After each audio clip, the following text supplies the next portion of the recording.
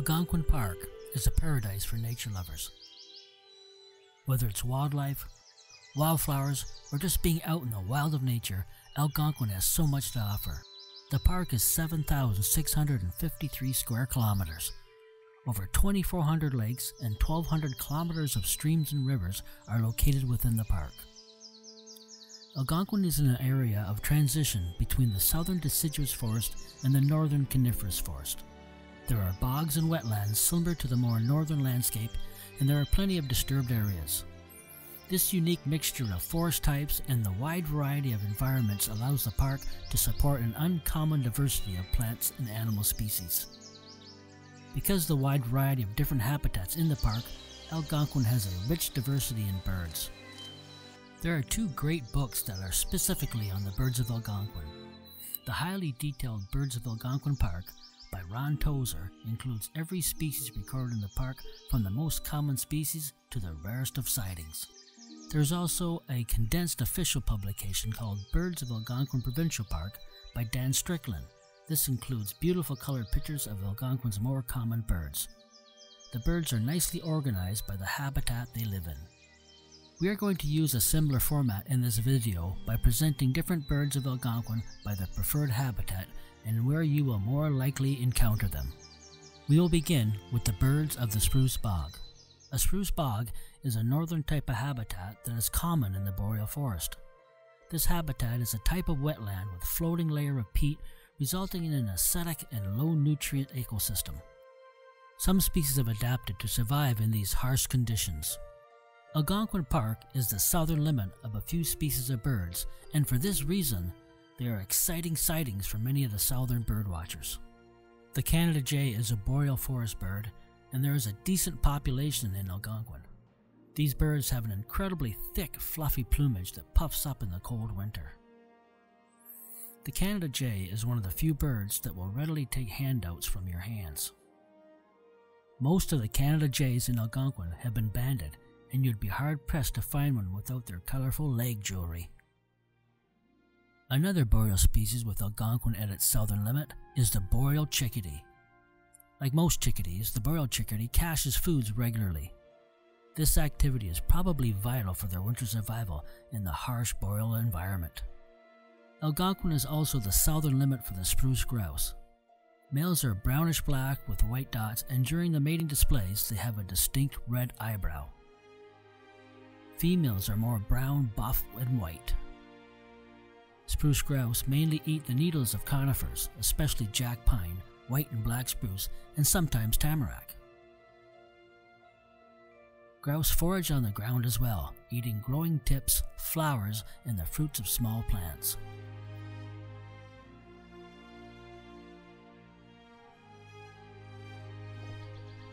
The spruce bog attracts a variety of warblers.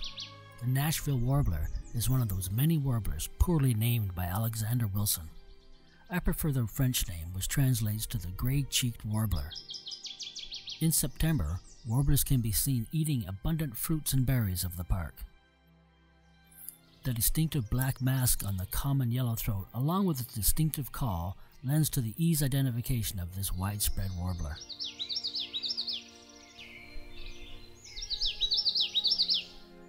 Another bog warbler is the northern water thrush.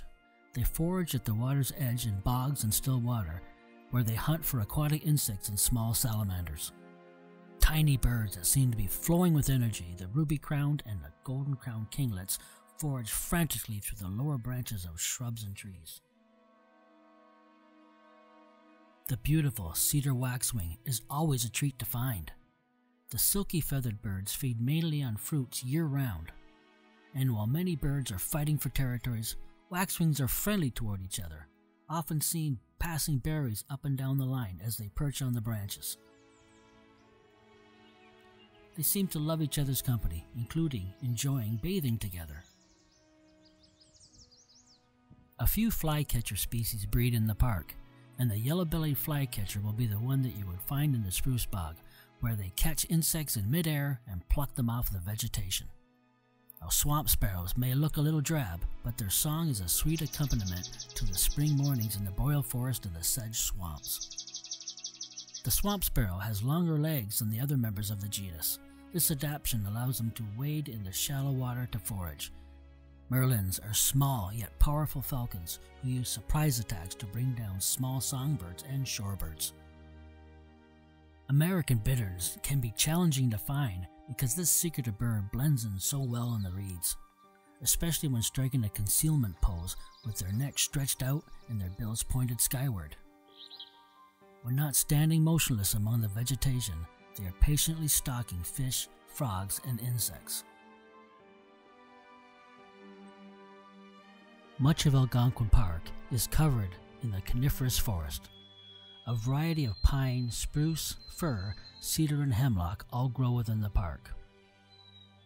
The blue-headed vireo is a vireo that you will see in the coniferous forest. Vireos are small, insect-eating birds of the treetops where they hunt along the live branches.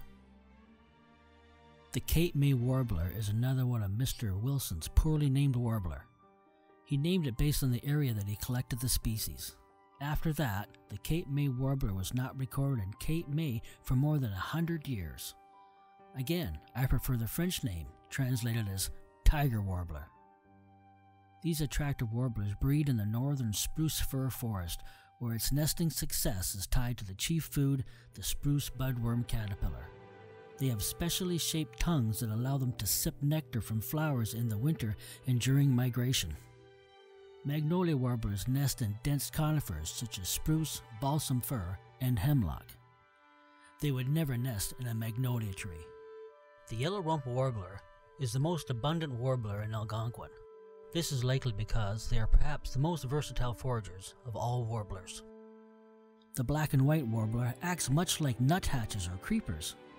They creep along the tree trunks and branches, probing the bark for insects with their slightly down-curved bill.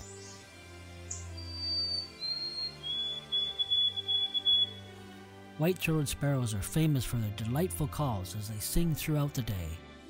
We have heard them singing late in the day, even long after sunset. These sparrows hop when they're on the ground, rather than walk or run. They forage in the leaf litter, using both feet at once to scratch backwards and then pounce forward on anything they have uncovered. The chipping sparrow is a smaller sparrow that is easy to identify with its bright rufous cap. Chipping sparrows mainly eat variety of grass seeds and herbs, but during the breeding season they'll also hunt for protein-rich insects as these form a large part of their summer diet. The purple finch is a year-round resident of Algonquin Park. They require evergreens for nesting, and they are tied to the coniferous forest of Algonquin. Purple finches eat mainly seeds of the coniferous trees. Another year-round resident of the park is the red-breasted nuthatch. They are common visitors of the bird feeders, and they will occasionally eat out of your hand. In the summer, Red-breasted nuthatches eat mainly insects and other arthropods, such as beetles, caterpillars, spiders, and ants. They raise their nestlings on these types of foods. In the fall and winter, they tend to eat conifer seeds, including seeds they cached earlier in the year. Brown thrashers can be difficult to find as they are shy and hang out in the dense shrubbery. They typically feed on the ground, sweeping their bills through the leaf litter and soil with quick sideways motions. The Swainson's thrush is another coniferous forest dweller, where they forage on the forest floor in the leaf litter, capturing insects and pulling out earthworms. Like the Swainson's thrush, the hermit thrush also lives in the coniferous forest, but they prefer higher and drier areas. In the spring, the hermit thrush eats mainly insects such as beetles, caterpillars, bees, and wasps, and they also occasionally eat small amphibians and reptiles. Northern saw-whet owl is always a very exciting sighting. It is a tiny owl with a cat-like face, oversized head, and bright yellow eyes. These fierce predators mainly eat small mammals like mice and voles. During migration, they may supplement their diets with small birds. The great gray owl spends the year in dense, wet evergreen forest of the far north, where they hunt in meadows, bogs, and other areas with few scattered trees.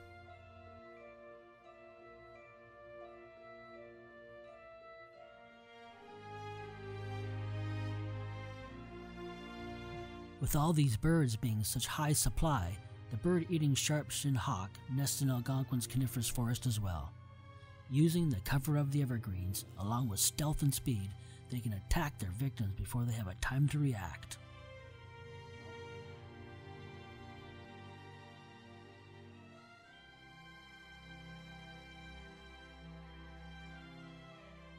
Large portions of Algonquin Park is covered by hardwood forest with trees like sugar maple, yellow birch, and beech. These areas are used by a distinctive set of birds that thrive under the complete different conditions from the coniferous forest. The red-eyed vireo is one of the most common summer residents of the eastern forest.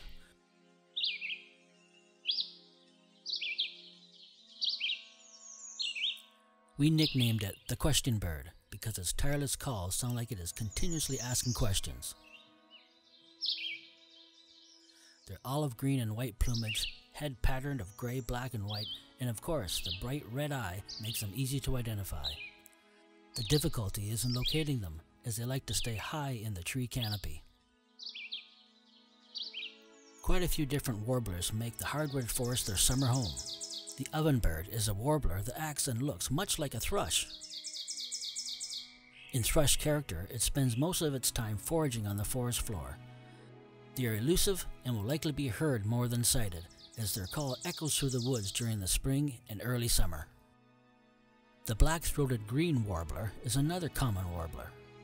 They eat almost exclusively insects during the breeding season, especially caterpillars, which they glean from the small branches on both coniferous and deciduous trees.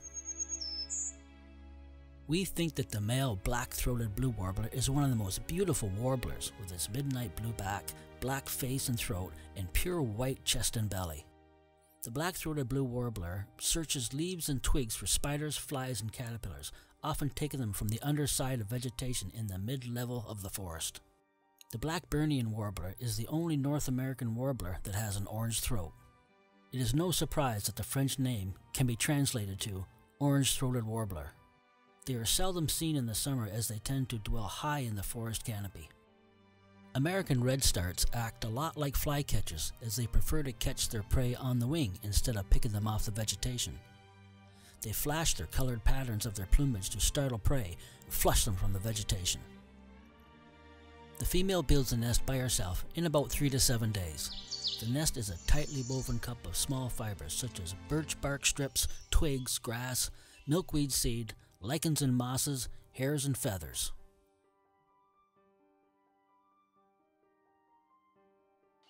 Many flycatchers look similar and can be difficult to set apart, but the least flycatcher is one of the easier ones to identify because of its small size, bold white eye-ring, and distinctive song. The eastern wood pewee dwells in the hardwood forest, but tends to forage higher in the trees than the least flycatcher, but lower than the great crested flycatcher.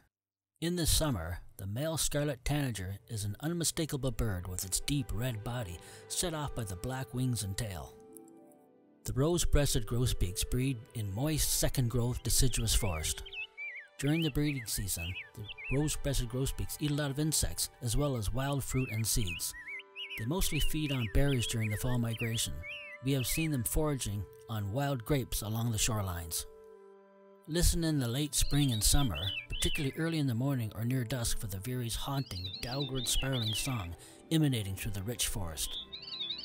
Veeries breed in dense, damp, deciduous woods, often near rivers, streams, or swampy areas.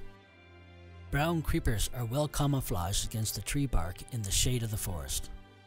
They prefer forests with many large trees for foraging and loose bark dead trees for nesting. They glean, probe, and peck at the trunks with their long, down-curved bills. White-breasted nuthatches are agile birds that creep along the trunks and large branches, probing into the bark furrows with their straight, pointed bills. Like other nuthatches, they often turn sideways and upside down on vertical surfaces as they forage. The larger of the two lookalikes, the hairy woodpecker is a small but powerful bird that forages along the trunks and main branches of large trees. It wields a much longer bill than the downy woodpecker's almost thorn-like bill. Hairy and downy woodpeckers occur together throughout most of their ranges. The downy woodpecker uses smaller branches, while the hairy woodpecker tends to spend more time on the trunks.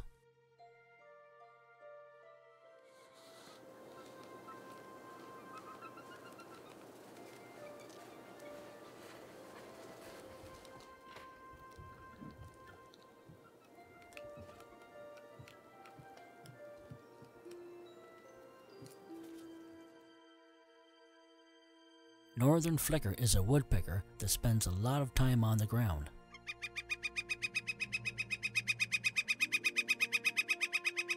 Flickers eat mainly ants and beetles, digging for them with their unusual slightly curved bill.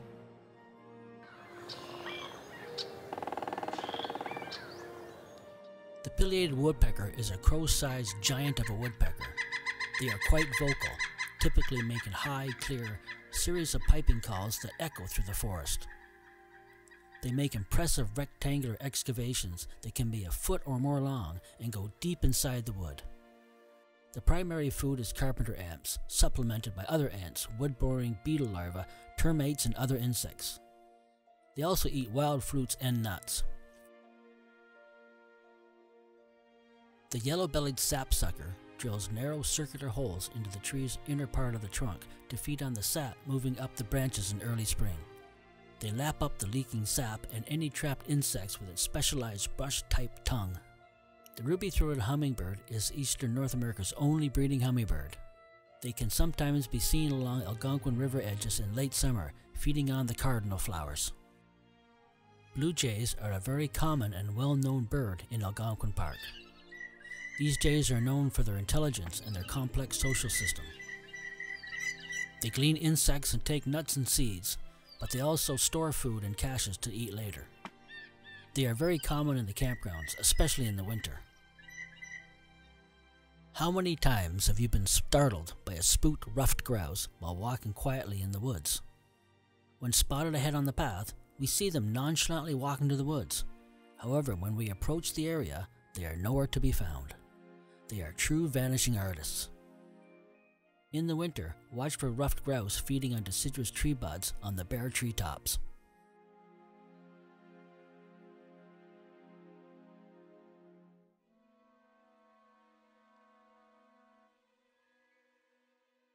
Many nights in Algonquin Park, we will hear the barred owl calling their signature call.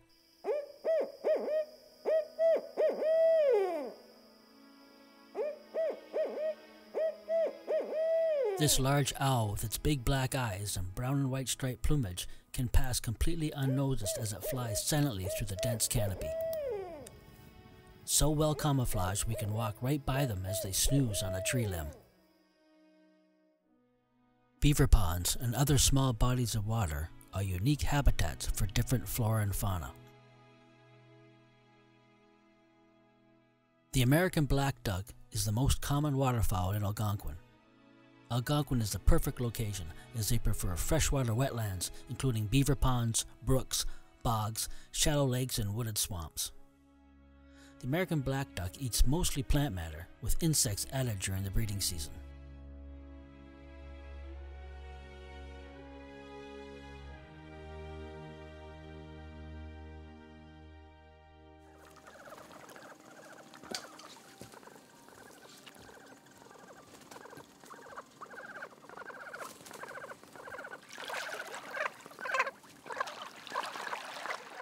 Are becoming more common in the park, and they sometimes interbreed with the black duck.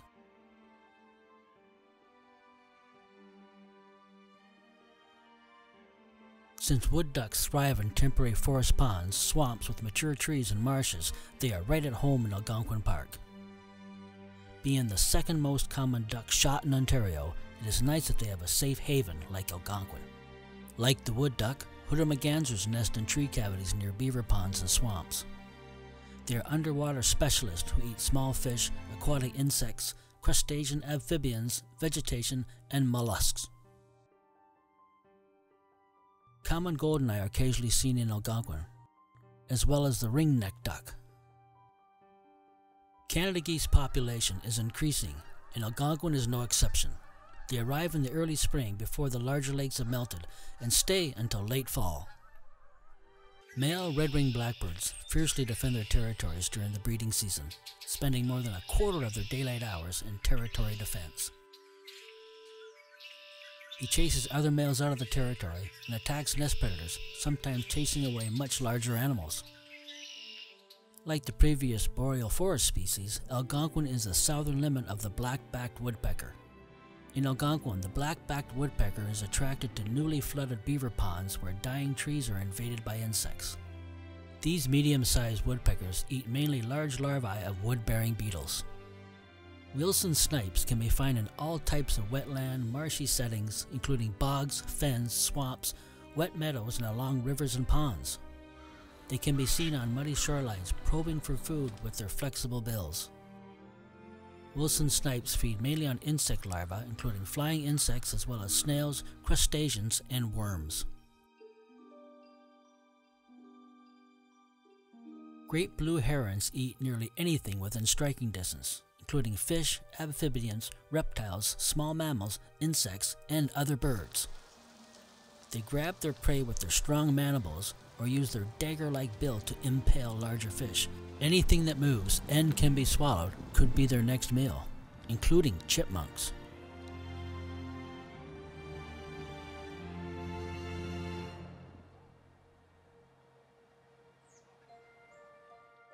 Over 2,400 lakes, 1,200 kilometers of streams and rivers are located within the park. And just about every lake has one or more pair of common loons. They are the icon bird of Algonquin. Most loons leave the park in early November, but they are back as soon as the ice is out of the lakes in late April.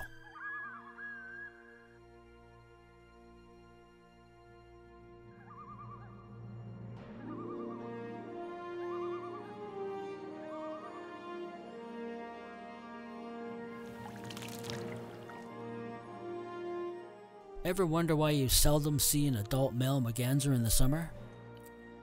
The male and females return to the park in late March as soon as the water opens up. The males leave for James Bay about two months later, right after the mating season is over. The females stay and raise the young. If you see a seagull in Algonquin Park, chances are it will be a herring gull. They nest throughout the park, usually in small colonies on islands. Grand Lake at Achray has such a colony. A completely different fish-eating bird is the osprey.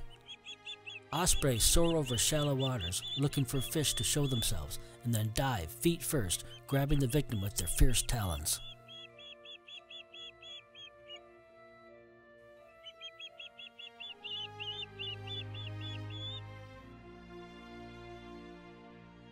Double-crested cormorants are on the rise in Algonquin. On a recent canoe trip, we've seen a few small colonies in some of the larger lakes, and a half a dozen or so here and there sunning themselves in the trees. Most aerial birds have been declining over the past few decades. Tree swallows and barn swallows were common in Algonquin some 20 years ago, but their numbers have dropped significantly. Eastern kingbirds nested and hunted at most of the beaver ponds back in the 80s. Now they are a rare sighting. Great crested flycatchers exploit a niche higher in the canopy to avoid direct competition for food with other flycatchers. Eastern phoebes generally perch low in the trees or on fence lines. Phoebes are very active, making short flights to capture insects, very often returning to the same perch. They like to nest in buildings and under bridges. When paddling canoes under bridges, be careful not to disturb the nests in the spring.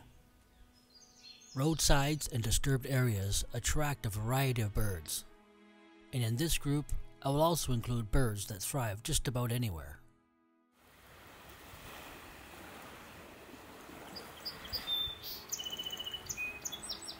Song sparrow melodies are a welcome sign of the turning of the seasons.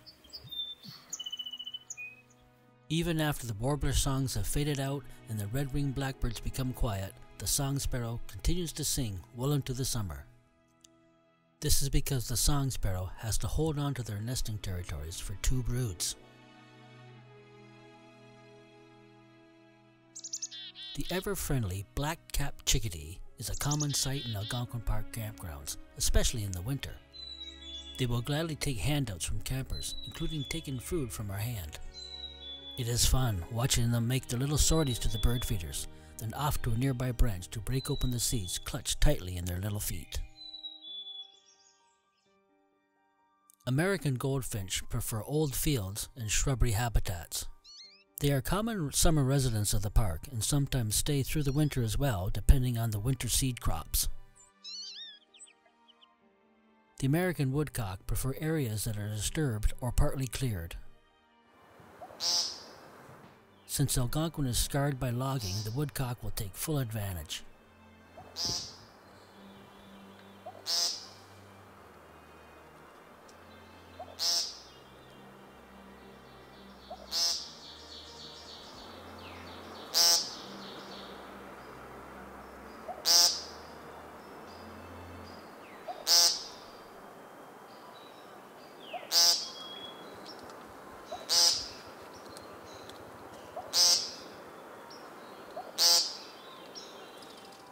And a warbler who is enjoying Algonquin's logging operation is the chestnut-sided warbler. This species requires bushy, sunny clearings, so Algonquin is ideal conditions as these logging practices continue. Indigo buntings prefer disturbed, forest edge type areas, and Highway 60 makes ideal habitat.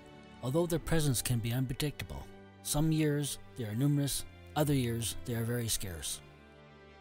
Common grackles can occupy a wide variety of habitat, and quite often flocks of them descend into the campgrounds looking for food scraps. They arrive in early March and can still be around in October.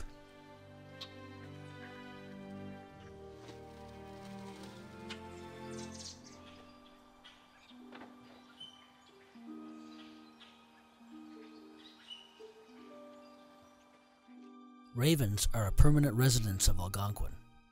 Common ravens are bold, playful, and clever, and are almost always doing something worth watching.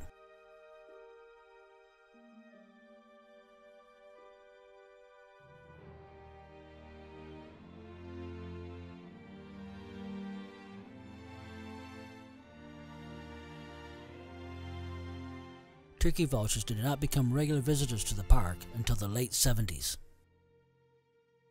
Wild turkeys were reintroduced in Ontario in the 1980s. Eventually, they made their way to Algonquin and are now a common sighting. Although they are familiar town and city birds, American robins are at home in the wild areas too, including Algonquin's forest. Many migrants pass through Algonquin in the fall, often stopping to refuel during their journey. Rusty blackbirds feed on the exposed mud along the river's edges. They also exploit roadsides and other open areas. White-crowned sparrows breed in the Arctic, but are numerous during the September and October migration. They load up the abundance of the park's berries and seeds before continuing their way south.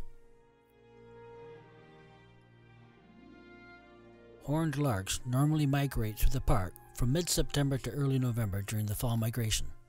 They occur in the open areas, roadside, fields, and parking lots. In spite of the name, American tree sparrow are ground birds. During the spring and fall migrations, they will search out weedy fields, hedgerows, open forest for foraging between the nights of flying. During migration, Lincoln sparrows stop over in the fields, forest edges, and other areas with thickets. Dark-eyed juncos use a variety of habitats, including open woodlands, fields, roadsides, and Algonquin campgrounds. American pipits nest in the Arctic tundra, during the spring and fall migration, pipits select similar open habitats including grassy areas, beaches, mudflats, riverbeds, and shores along the lakes and rivers. The solitary sandpiper is a migrant in Algonquin Park.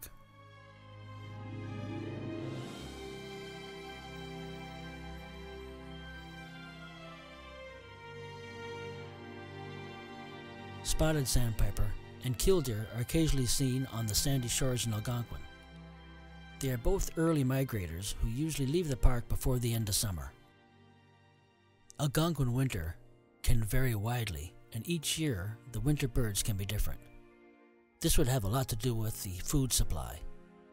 White-winged and red crossbills have specialized bills to extract seeds from the cones of spruce, pine, Douglas fir, hemlock, and tamarack.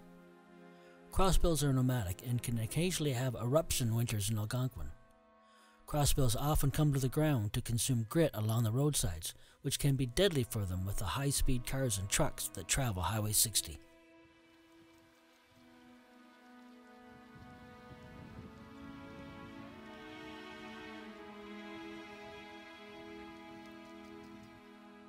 Redpolls are a true northern bird, spending the summer in the high Arctic. Common redpolls move south irregularly in the winter following the patterns of food supply. Sometimes that supply is in Algonquin Park. Like the redpolls, the pine siskins are nomadic finches with ranges that vary widely and erratically across the continent each winter in response to the seed crops.